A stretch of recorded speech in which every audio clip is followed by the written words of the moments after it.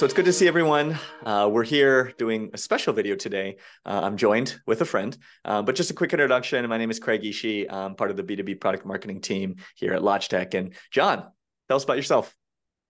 All right. Thanks for having me, Craig. Uh, hello, everyone. John Stearns here from Zoom, and I lead our international Zoom rooms and Zoom Spaces business, uh, as well as our go to market strategy for all of our Zoom rooms. Uh, so I appreciate the opportunity to be here. And this is a topic that's very passionate to me. Okay, so today we're going to talk about interop. We've talked about Zoom Rooms before. We've talked about different features here and there from a little bit of a preview here from BYOD mode to enabling ad hoc interop. But today we're going to talk about all of it. And so the topic of today's session is two and a half ways to enable interop in a Zoom room. And so we're going to talk through all the different ways to do that. Now, um, what is interop? We're going to start with that. We get a lot of folks who are standardized on Zoom rooms. So, you know, they're able to go into a meeting room, use the one touch join, and they're right there in that Zoom meeting. But occasionally you have those customers saying, Hey, I've, I've actually got a meeting on Google Meet today, or I've got a meeting on WebEx or Microsoft Teams. How can I have the flexibility with my Zoom room to be able to do that and provide that for my end users as well? So, that is going to be today's topic interop. And John, Let's start with software first. Zoom has a number of different features that you've enabled um, that are both for scheduled meetings as well as ad hoc meetings. Tell us about Zoom Interop from a software standpoint. Okay. Yeah, absolutely. So interop interoperability um, is super important on the room side. So unlike our phones and our laptops, where we can load multiple meeting applications and have all of those available when we need to join a different platform. That's not necessarily the case in rooms. So when a system is set up as a Zoom room, that's sort of the home base, right? Uh, and then we built in into the software and into the actual platform the ability for that room, even though it's set up as a native Zoom room, to join all the major meeting platforms that we've talked about there. And that's an out of the box feature. So that doesn't require any sort of uh, interoperability services or gateways or anything like that. So it's a core feature of the Zoom Room that allows uh, users to join into those other platforms in two pretty simple ways. The first one is if the system, if the Zoom Room system is set up with calendar uh, integration, which we always recommend, then the system will automatically recognize which meeting platform this upcoming meeting will be whether it's you know all the ones we talked about zoom teams you know google meet webex et cetera um, that the system would recognize that and still scrape the appropriate meeting join information. So on the zoom room controller there's that simple consistent join meeting button. It's a one touch join experience for those scheduled meetings. Um, so that that's the the kind of preferred way. But we also recognize you know in the in the modern hybrid work world um, you know people might not have planned ahead to join from a meeting room and there's a lot of ad hoc meetings uh, meaning you know just on the fly you need to jump into a platform.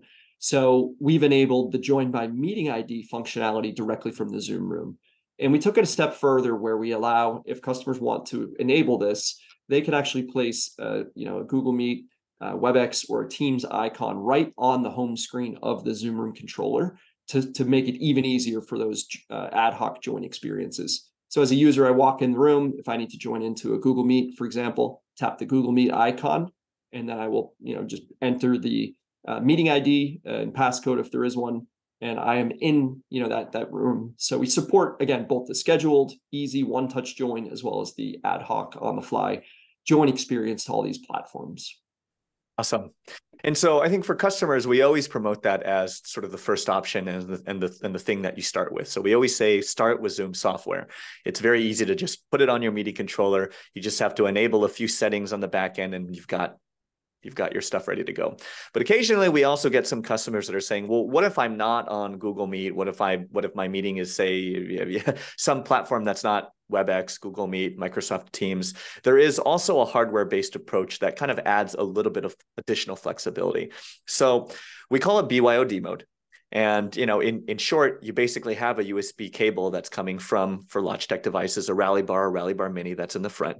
You're also going to have an HDMI cable that's also coming from that as well. And you're just going to route those to the table. And in BYOD mode, what that allows me or John or any end user to do is walk into that room with our laptop, plug in that HDMI cable so that we're having screen sharing, and then plug in that USB cable into our laptop so that we have camera control.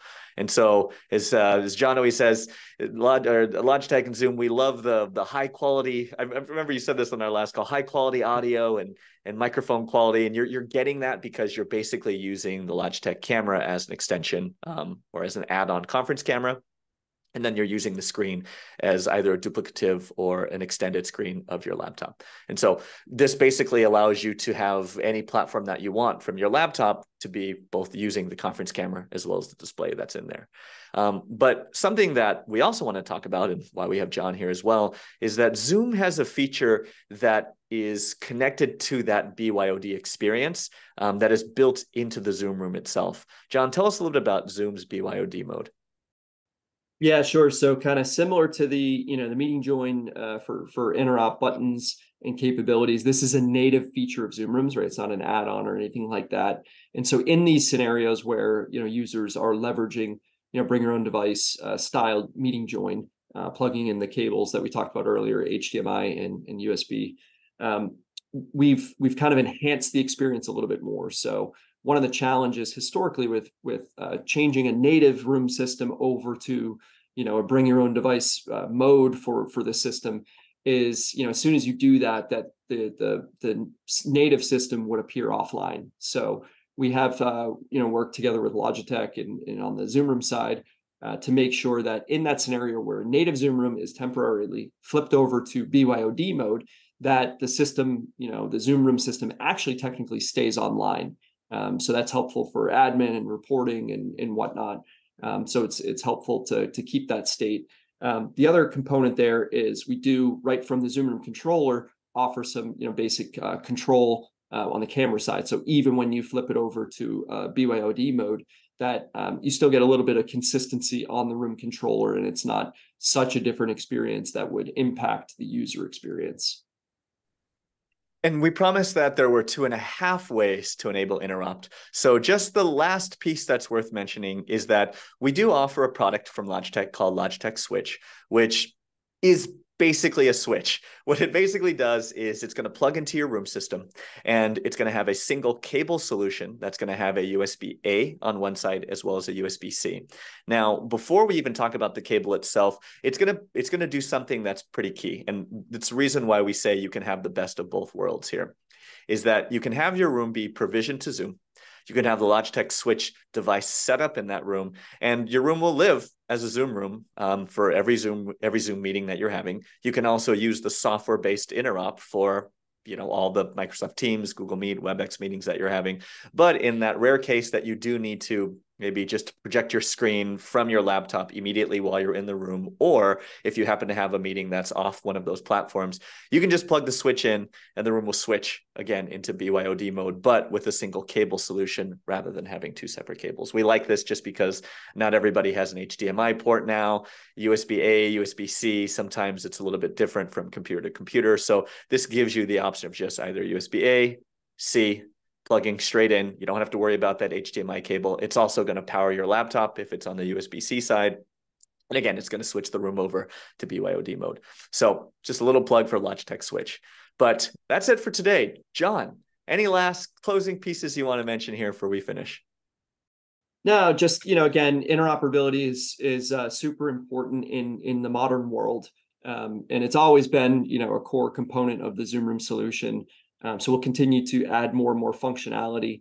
Uh, but you know, the three different options or the two and a half different options we we spoke of today, um, you know, is just a, another testament to the Zoom and Logitech partnership around how we're taking you know the best of Logi hardware together with the Zoom software and, and the Zoom platform and giving options, right? Um, so there's not always one size fits all or one experience that's going to fit every single use case, but the ones we talked about here is how we're making it as simple as possible, both on the administrative side and the user side, you know, to, to leverage all the different functionality of our joint products uh, to join into any meeting platform and make it seamless for the end user. So, you know, I'm really proud of the work that both organizations have done in this area.